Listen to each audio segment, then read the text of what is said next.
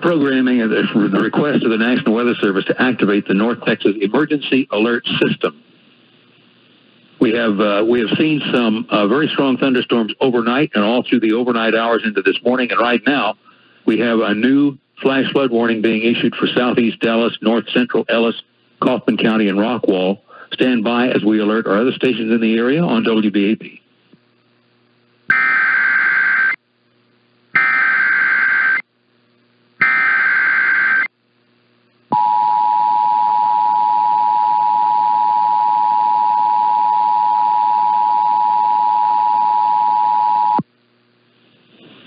We interrupt programming at the request of the National Weather Service to activate the North Texas Emergency Alert System.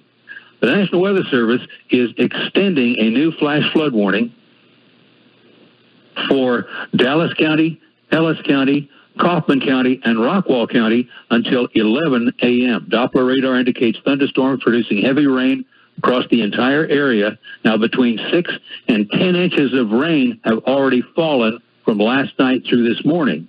Additional rainfall up to one inch will be possible. Flash flooding is ongoing or expected to begin shortly. Once again, a flash flood warning for southwestern Dallas, make that southeastern Dallas County, for North Ellis County, northwestern Kaufman County, and Rockwall County until 11 a.m.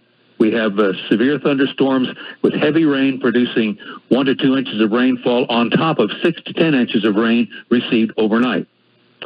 All North Texas stations affected by this alert are requested to relay the preceding message.